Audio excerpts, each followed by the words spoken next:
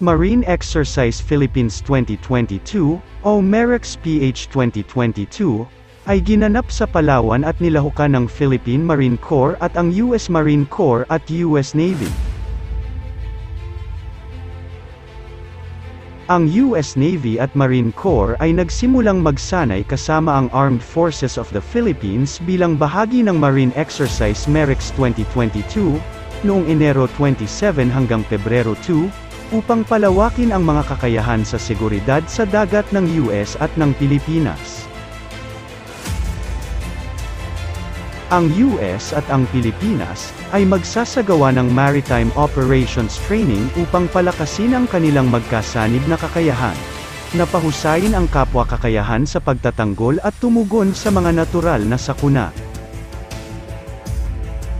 Kabilang sa mga kaganapan para sa MEREX ngayong taon, ay ang Amphibious Assault Coordination at Execution, Subject Matter Expert Exchanges, at Integrated Maritime Operations, gaya ng Search and Seizure Operations at Tactical Maneuvering.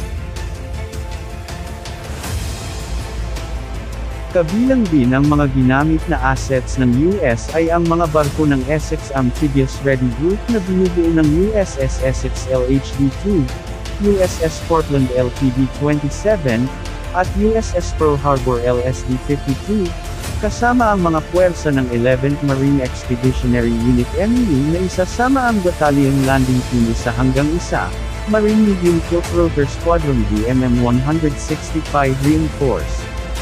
Marine Attack Squadron BMA 214, at Combat Logistics Battalion CLB-11.